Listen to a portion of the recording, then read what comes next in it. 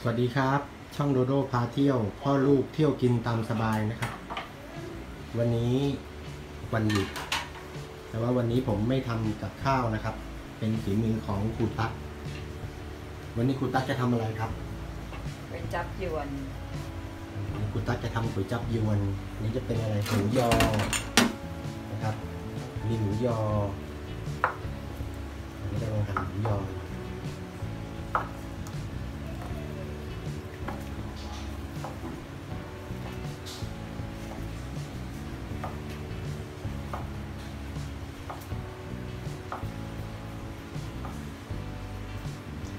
คลิปที่แล้วเพื่อนๆเห็นผมทำข้าวต้มกระดูกหมูนะครับ วันนี้ก็จะทำก๋วยจับยวน เพราะว่ามีญาติพี่สาวกูตักมาเยี่ยม แล้วก็ซื้อเส้น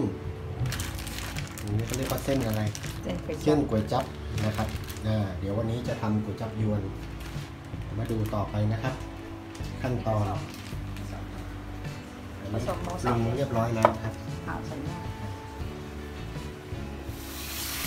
ขาวใส่หน้าต้นหอมผักชีใบขึ้นช่ายนะครับสูตรเดิมเพื่อใส่โรยบ้านนี้ทานผักเยอะครับถึงจะเป็นข้าวต้มก็จะโรยผักกันเยอะๆเพราะหอมแล้วก็มีประโยชน์หมูสับปรุงพริกไทยกระเทียมรากผักชี ใส่ซีอิ๊วขาวไปเรียบร้อยแล้ว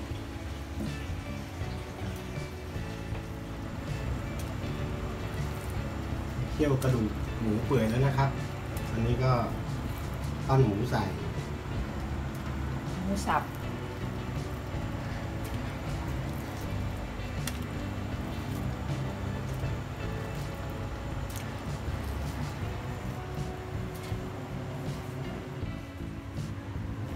นะครับหมูยอหั่นแล้วหมูยอจากอุดรนะครับ อันนี้เป็นหมูยอจากอุดรที่ พี่สาวครูตั๊กซื้อมาฝากผมก็เลิศเลยนะครับ อันนี้คือครึ่งเดียวของของเมื่อกี้นะครับ นี่คือครึ่งเดียวของของเจ้าห่อนี้นะครับ ครึ่งเดียวหั่นออกมาได้แค่นี้ อันนี้ก็จะเป็นการเอาเส้นเส้นก๋วยจับยวนนะครับ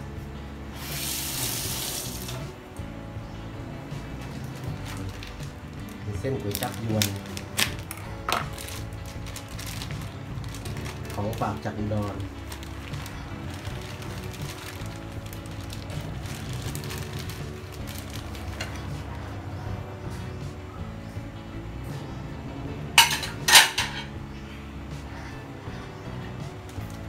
หน้าเป็นแบบนี้ครับเส้นขาว เหมือนเหมือนอุด้งของญี่ปุ่นนะครับ อันนี้คือเส้น เส้นสำเร็จนะครับซื้อมาก็น่าจะเก็บไว้ได้สักเดือนหนึ่งนะครับ ประมาณหนึ่งเดือน แช่ตู้เย็นไว้ แล้วก็พอ จะทำรับประทานก็อย่างนี้ยนะครับ ต้มกระดูกหมูต้มน้ำซุปนะครับ แล้วเดี๋ยวก็เอาเส้นก๋วยจับยวนเนี่ยใส่ลงไปต้องคลี่ออกก่อน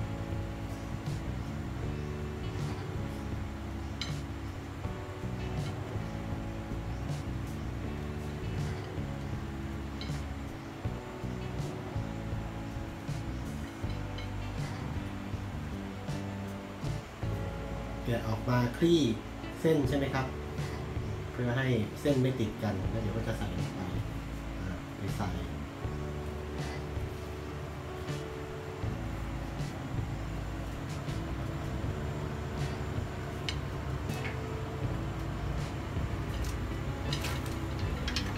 ใส่ลงไปในน้คนทำน้ำอุ่นไม่ต้องำเดือดไม่ดูเดือดเสร็จแล้ว เดือดแล้วแล้วก็ลดไฟลง พอเดือดแล้วก็ลดไฟลงก็ใส่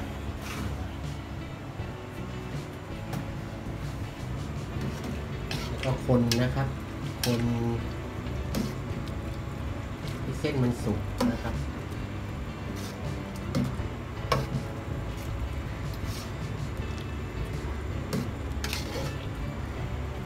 เส้นมันจะไม่ร้อนต้องคนนะถ้าไม่คนมันก็จะติดหม้อ ริ่มน่ากินแล้วใช่ไหมครับ น้ำก็จะเหนียวขึ้นมาเอง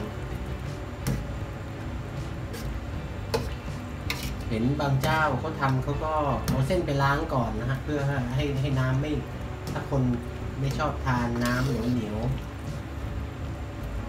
น้ำข้นๆก็จะเอาไปล้าง ก็จะได้เป็นเส้นที่เหมือนก๋วยเตี๋ยว ผมว่ามันไม่อร่อยก๋วยจั๊บมันต้องน้ำข้นๆ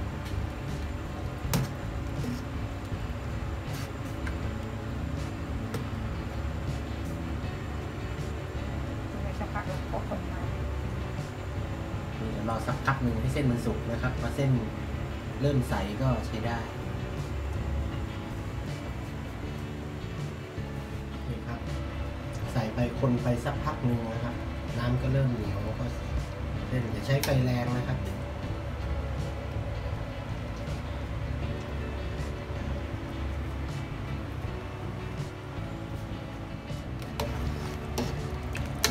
เห็นนะครับ น่าทานไหมครับ ชิ้นใหญ่ๆ วันนี้ครูตั๊กไปซื้อมาก็เขาสับชิ้นเล็กไปหน่อยครับปกติพวกผมจะทานชิ้นใหญ่กว่านี้ เส้นได้ที่ครับ น้ำเริ่มเหนียวก็ขั้นออกไปก็หมูยอครับ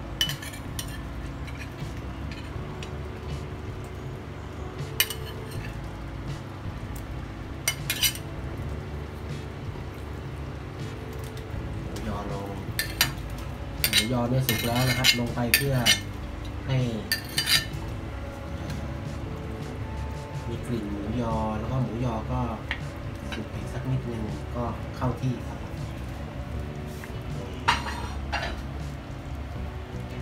ข้าวเปียกเออไม่ใช่ บางคนก็เรียกข้าวเปียกนะครับบางคนเรียกก๋วยจับยวน มีหมูยอ มีหมูสับ แล้วก็มีกระดูกหมูนะครับ นะครับ ยกลงจากเตาเรียบร้อยเป็นอันเสร็จนะครับเพื่อนดูสว่างสว่างทีหมูจับยวนครับ แล้วตักใส่ชามแล้วก็ไปปรุงใส่กระเทียมเจียวใส่ต้นหอมโรยนะครับ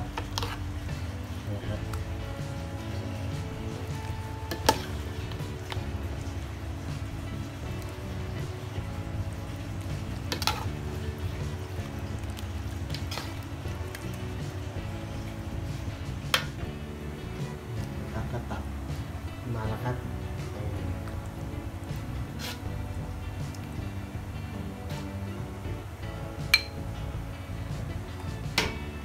เสร็จเรียบร้อยเดี๋ยวไปปรุงนะครับ เจียวกระเทียมครับ เจียวกระเทียมหอมหอมๆผมชอบกระเทียมเจียวหอมหอมๆครับชอบเจียวเอง ถ้าไปทานก๋วยเตี๋ยวร้านไหน เขาซื้อกระเทียมที่เขาเจียวมาแล้วแห้งๆอะไรอย่างนั้นนะฮะผมจะไม่ทานเลยไม่ชอบ ชอบกระเทียมเจียวที่เจียวสดๆใหม่ๆหอมๆแบบนี้ครับ สุดยอด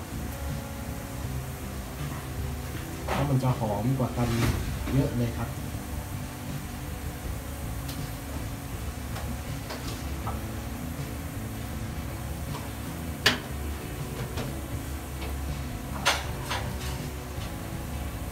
เจียวให้เหลืองนะครับ เหลือง กรอบน่ารับประทานนี่ครับนี่เหลืองกรอบน่ารับประทานนะครับกระเทียมเจียวของผมตักแกลูกหลาน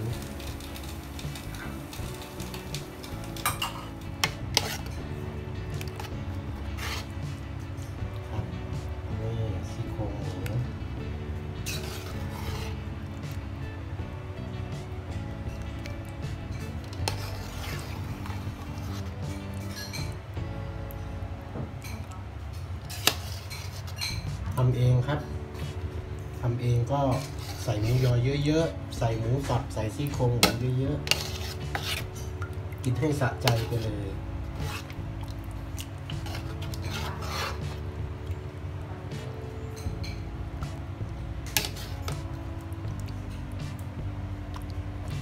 นสึกว่าหมู หมูกับ หมูกับ หมูยอ หมูสับนี่เยอะกว่าเส้นครับ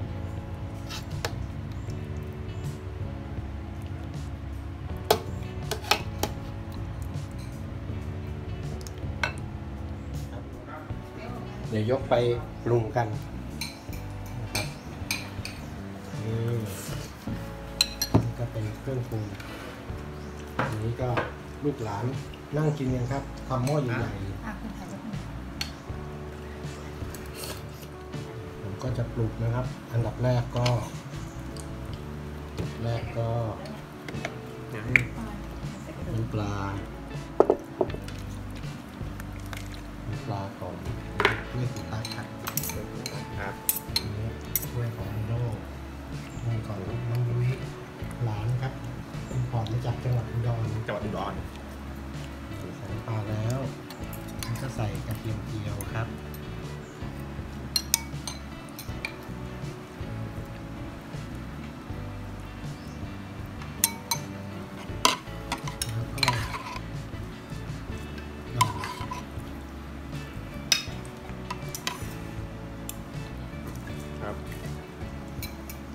ครับอืมผม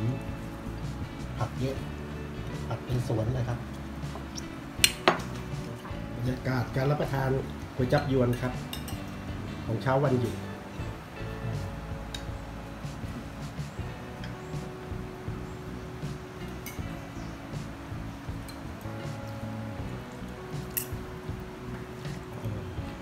ก็ผมลืมใส่พริกไทยครับแหมขาดไม่ได้ นี่ครับพริกไทยนี่ครับขั้นตอนต่อไปก็ชิมครับ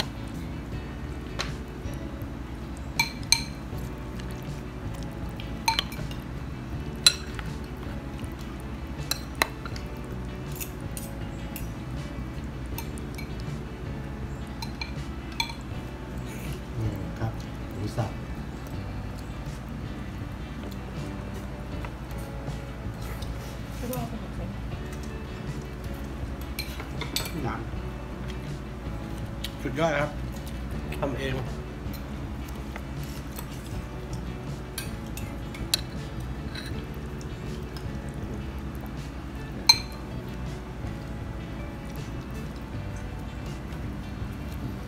ครับ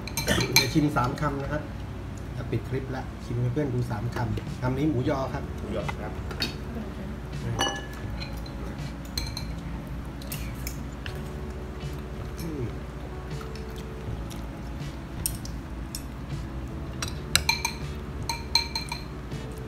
ซี่โครงหมูโครงหมูที่บ้านผมชอบทำให้น้ำข้นๆเหนียวๆครับถ้ากินก๋วยจับยวนต้องน้ำข้นๆเหนียวๆแบบนี้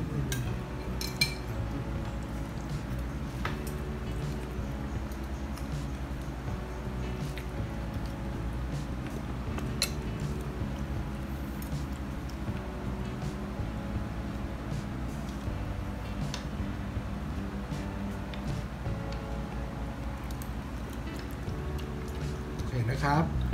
ก็จบสำหรับ